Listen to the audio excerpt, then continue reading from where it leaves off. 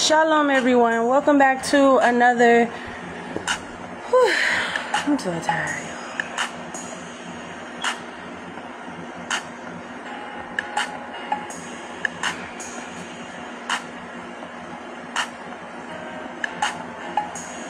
Y'all remember this song?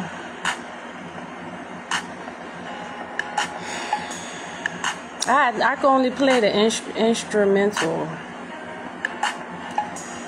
So he said, "Tell him."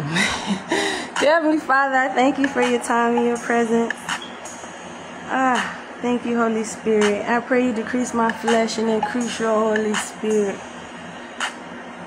Yeah, so I've been seeing L, E L.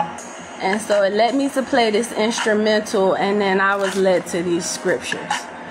Here is a prayer of repentance, okay? It's Psalm 51. It says, Have mercy on me, O God, according to your unfailing love. According to your great compassion, blot out my transgressions, wash away all my iniquity, and cleanse me from my sin. For I know the transgressions, and my sin is always before me. In Jesus Christ's name, I touch and agree with you.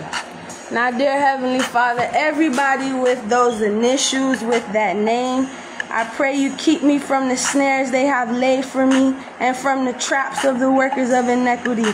Let the wicked fall into their own nets while I escape safely. Let every sickness go from thine dwelling back to its casters. I bind it and cast it off back to sender two times. In Jesus Christ's name. Eh, every downfall, every relationship to break up of mine, everything that this person could have prayed for or done, I pray they fall into their own inequity. In the name of the Father, Son, and Holy Spirit, I pray. In the name of the Lord God Almighty Jesus Christ, I pray for you and me. Amen.